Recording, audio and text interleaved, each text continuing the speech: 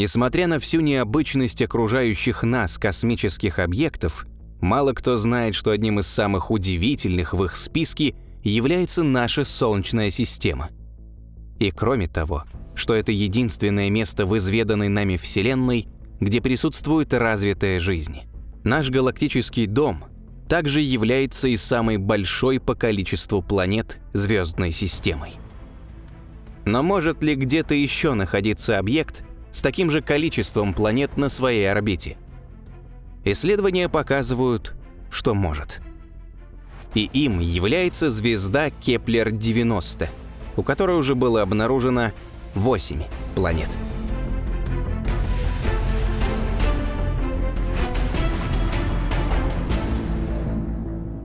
Открытие этого объекта было совершено с помощью орбитального телескопа Кеплер, специально предназначенного для поиска экзопланет.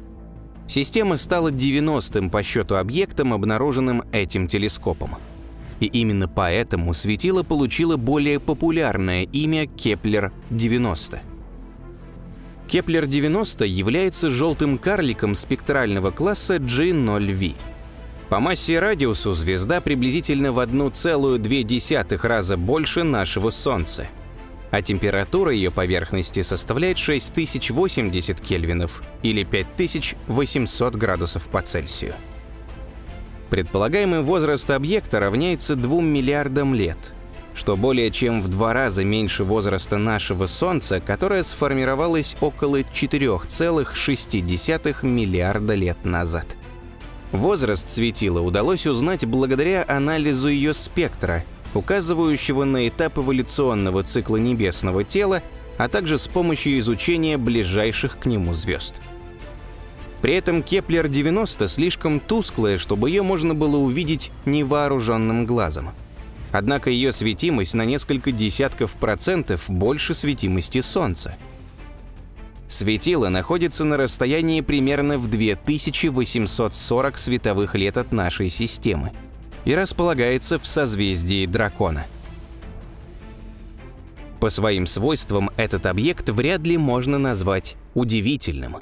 Ведь эта звезда представляет из себя обычное светило главной последовательности. Но вот количество планет, которое удалось обнаружить в ее системе, действительно вызывает огромный интерес – ведь ранее 8 планет мы могли наблюдать только в нашей Солнечной системе.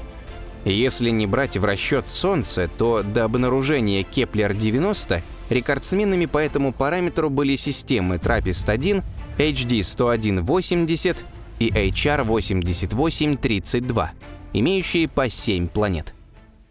При первом обзоре Кеплер-90 может показаться, что данный объект — это миниатюрный аналог нашей Солнечной системы. Однако если присмотреться к ней поближе, нам станут видны несколько кардинальных отличий. Внутренние части системы Кеплер-90 населяют небольшие планеты, а окраины – более крупные небесные тела. В нашей же системе гиганты находятся в центре, а более маленькие планеты – на окраине. Впрочем, говорить об этом однозначно пока рано, ведь точное количество планет в системе Кеплер-90 с появлением новых исследований еще не раз может увеличиться. Кроме того, в отличие от нашей системы, все они расположены значительно ближе друг к другу, чем Земля и ее соседи. И все восемь известных на данный момент планет вращаются в пределах одной астрономической единицы от своей звезды – Другим важным отличием можно назвать тот факт, что в системе Кеплер-90 шесть внутренних планет представляют из себя суперземли или мини-Нептуны, а две внешние планеты – газовые гиганты. Две наименее удаленные от своей звезды планеты в системе Кеплер-90, которые получили обозначение Кеплер-90b и Кеплер-90c, вероятнее всего можно назвать аналогами нашей Земли. Однако из-за такого близкого расположения к центру температура на них значительно превышает температуру на Меркурии или Венере. Наиболее удаленными от своей звезды являются объекты Кеплер-90G и Кеплер-90H. Эти небесные тела представляют из себя газовые гиганты, размеры которых, вероятнее всего, сравнимы с размером Юпитера – А если посмотреть на всю систему целиком, то можно сделать вывод, что она крайне компактна.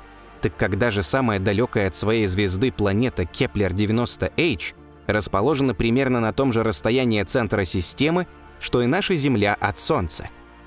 Кроме того, самая удаленная планета также является и самой крупной в системе, а год на ней длится примерно столько же, сколько и на нашей Земле, а именно 331 день. Все эти планеты были открыты сравнительно недавно, и последняя из них, Кеплер-90I, была обнаружена в 2017 году. Ее открытие стало возможно благодаря наблюдению за резкими изменениями в яркости центральной звезды в тот момент, когда одна или несколько планет проходят по его диску и блокируют часть видимых нами лучей.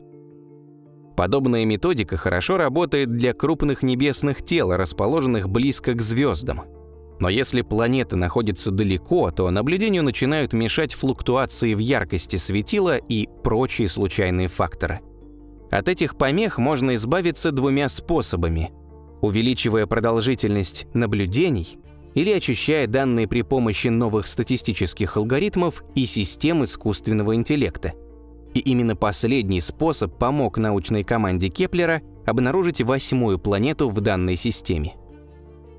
С помощью специальной обученной нейросети ученые смогли обнаружить еще одну планету в системе Кеплер-90 и вычислить ее свойства. Открытый объект временно был назван Кеплер-90I. Небесное тело располагается между Кеплер-90c и D совершает один оборот вокруг светила менее чем за 15 дней и имеет радиус равный 1,32 радиуса Земли.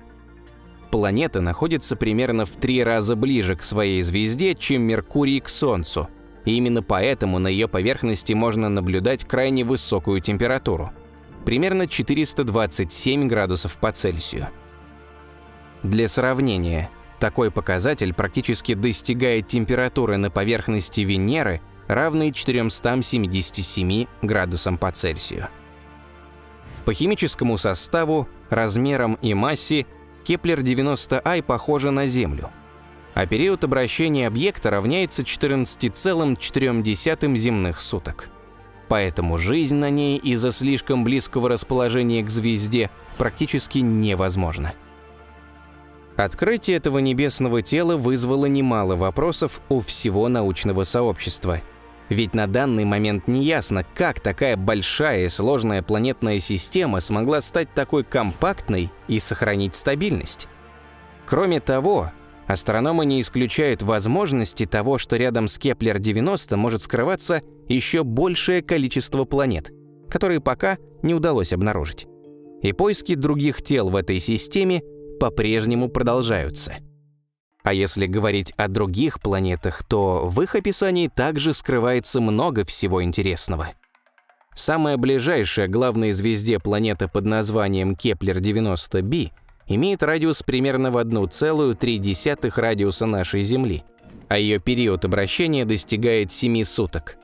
Как и все остальные объекты в этой системе, кроме Кеплер-90i, это небесное тело было открыто в 2013 году. Следующий, чуть более отдаленный от центра системы объект Кеплер-90c имеет чуть меньший радиус, который достигает 1,19 радиуса нашей Земли. Период обращения для этого небесного тела равняется 8,7 суток. Четвертым по удаленности объектом считается Кеплер-90d – он обладает радиусом в 2,87 земного и совершает один оборот вокруг своей звезды за 59,7 земного дня. Кеплер-90e занимает пятое место. Его радиус равняется 2,66 радиуса нашей планеты, а период обращения доходит до 91,9 суток. Следующим идет Кеплер-90F с радиусом 2,88 земного и периодом обращения в 124,9 земного дня. А предпоследнее место занимает Кеплер-90G с радиусом в 8,1 радиуса Земли, периодом обращения в 210,5 суток и массой примерно в 0,8 массой Юпитера. Самым удаленным небесным телом в системе можно назвать Кеплер-90H с радиусом в 11,3 земного, периодом обращения в 331,6 земного дня и массой приблизительно в 1,2 массы Юпитера.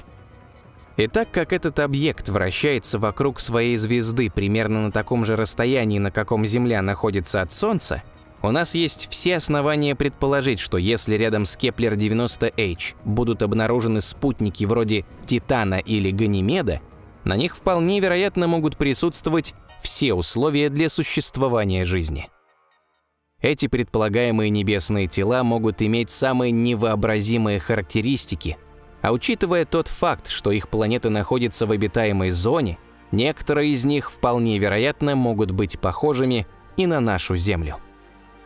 И кто знает, возможно, именно в эту минуту, пока вы смотрите этот ролик на канале Космо, на одном из спутников далекого газового гиганта Кеплер-90G зарождается новая жизнь.